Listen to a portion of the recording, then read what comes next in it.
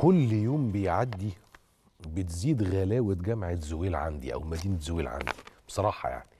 آه النهاردة بتعلن مدينة زويل للعلوم والتكنولوجيا عن صدور قرار اعتماد عدد من برامجها الدراسية بالجامعات الدولية من هيئة الاعتماد الأمريكية الدولية ABET وبكده تصبح أول جامعة أهلية وحكومية مصرية تحصل على هذا الاعتماد في برامج الهندسة والعلوم. كل ده بالرغم أن مدينة وجامعة زويل انطلقت تقريبا من تسع سنين بس قامت بتخريج أربع دفعات من الهندسة وخمس دفعات من العلوم. دكتور محمود عبد ربه الرئيس التنفيذي لمدينة زويل قال إن نجاح المدينة في حصولها على هذا الاعتماد يعتبر شهادة جدارة ونجاح لمنظومة التعليم والبحث العلمي في المدينة واللي تم تأسيسها طبقا للمعايير الدولية وبهدف تخريج طلاب لديهم القدرة على العمل في كبريات الشركات العالمية. ده بفضل جودة التعليم اللي بتتيحه مدينة وجامعة زويل. دكتور محمود عبد ربه الحقيقة أثنى وثمن على جهود الدولة المصرية في دعم المدينة. وده الحقيقة حصل. الدولة ما سابتش مدينة زويل لوحدها. وقفت جنبها جدا. ودكتور محمود بطبيعة الحال بيوجه الشكر لفخامة الرئيس عبد الفتاح السيسي لدعمه اللامحدود للمدينة وتوجيهاته الدائمة بأنه يتم تذليل كل العقبات اللي بتعترض طريق هذه المدينة بعد رحيل عالمنا الكبير المؤسس الدكتور أحمد زويل. وأكد دكتور محمود عبد ربه إنه الدعم ده هو اللي ساعد المدينة على الانطلاق وإنها تتصدر الجامعات المصرية طبقا لتصنيف تايمز البريطانية. خلي بالك أنا عايز أقول لك حاجة. التصنيف بتاع تايمز والتصنيف بتاع QS ده دول أعلى تصنيفين في العالم. تصنيف مدقق إيه؟ ما أقولكش.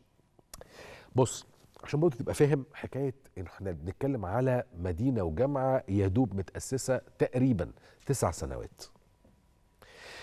جامعة مثلا زي اوكسفورد بقى لها تقريبا أكتر من ألف سنة.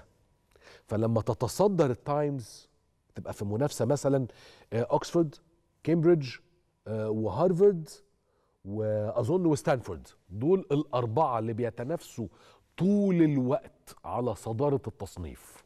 الأربعة طول الوقت متنافسات.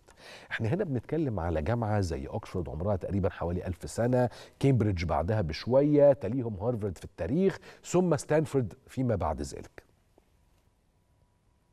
فلما يبقى في جامعة عمرها تسع سنين وتبدأ تحقق المستوى ده تصور إحنا أكيد مش هنعيش الألف سنة ربنا يدي بقى إيه العمر للبشرية بشكل عام يعني عند عايزك تتصور إنه بعد مئة سنة لما يبقى في عندنا الجامعة دي بتاعت زويل عمرها مئة سنة هيبقى موقعها فين؟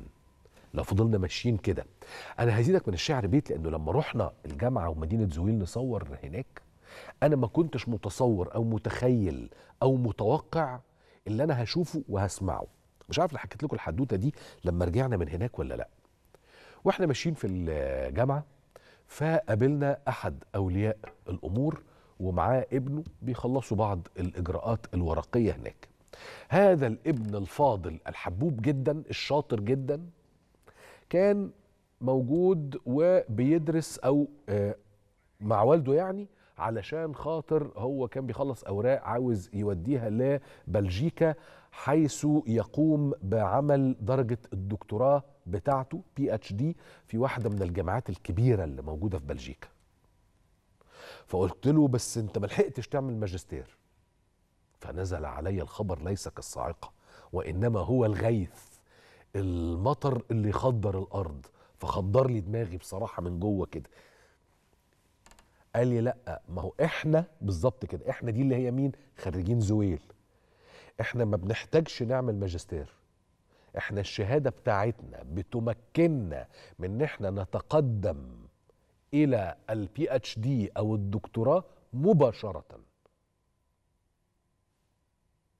يا حلاوة يا جدعان عندنا إحنا في مصر جامعة الولاد بيتخرجوا من البكالوريوس يعملوا PhD دكتوراه في جامعات كبيرة بره كده؟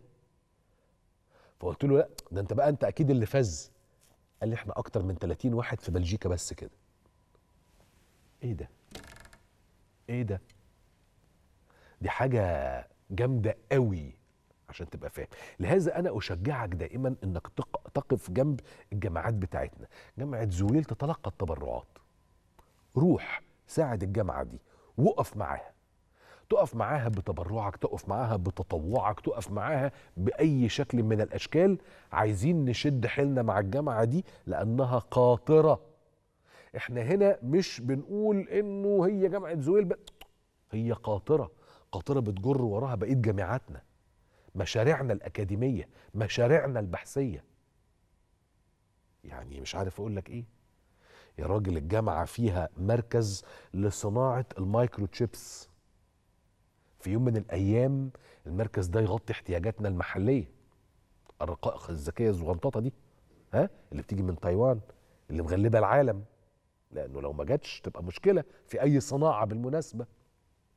ففي يوم من الأيام قريب هتبقى دي ممكن توفي احتياجاتنا المحلية.